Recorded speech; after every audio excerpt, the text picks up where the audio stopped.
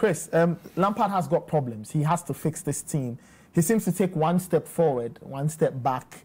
Your thoughts on what what, what we all saw um, earlier on Sunday? Look, I think tactically he did everything he had to do. In terms of the system that the team played on the day, I think Mm-hmm. it was very okay. Like Fenn rightly said, in that first 25, 30 minutes, they should have blown the game away. They didn't do that. And logically, you don't expect Leicester to be the same level as they were in the first half. Because in that first half, they were very bad. So, of course, if it is my if it's your team, come on. You they'll- get to they'll- improve. They'll have to improve because that is what they are paid for.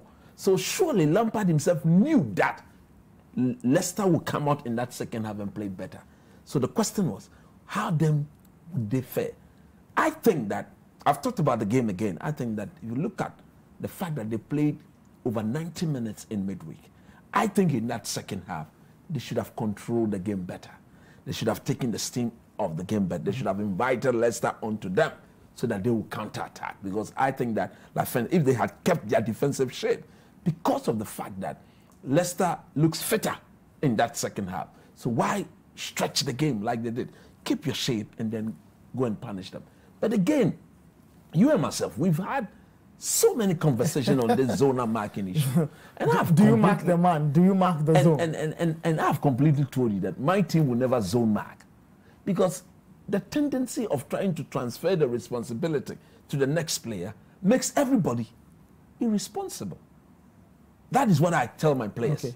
Take charge of the situation and deal with it so that when I'm doing my post match analysis, I can say, you are to be blamed. I don't want to be blaming the entire team. so you think it that comes back you to think coaching. that the zonal The the, zonal decision to mark at that. the decision to mark zonally cost them the, the Yes, so equalizer. if therefore there's a better deliverer, somebody who delivers the ball better in the box, he can target your most because when you zone mark, not everybody is that good in the air. Mm-hmm. And if you look at this Chelsea team, apart from Kurt Zouma, none of them would dominate any area threat. Okay. So look at the delivery. Ma- Maddison clearly took Zuma out per the delivery. He took him out. And once the ball had gone past Zuma, all the other Chelsea defenders were no match for Ndidi. So all Ndidi, look at the position too of Ndidi. He was at the blind side of, us, Zuma, yeah, waiting that once the delivery is right and Zuma was out of the picture, he would definitely attack the Bang ball. look score. at who was there. He had for There was. Christensen. He will, he will bully these players. But if Aspilicueta was that close, as he comes, he will body check him, unbalance him, and that would ensure that you will not get. The, look at the header; it was like a thunderbolt. And if It, it was player- too easy. too was easy. too That's easy. why he And- could and- generate and- that amount of power. We talk about one of the reasons Didier Drogba played a lot under Jose wasn't just about his goal scoring. he could defend as well. he could defend from set piece situations, and that goal is not by accident that it happened just when Giroud went out. yes, So because Giroud would have been there. is and- and one of Chelsea's, could have- it's, if not the best, Best header of the ball. header of the ball, and he would have been doing his defensive duties As well, if he was on. So I think a few things went wrong.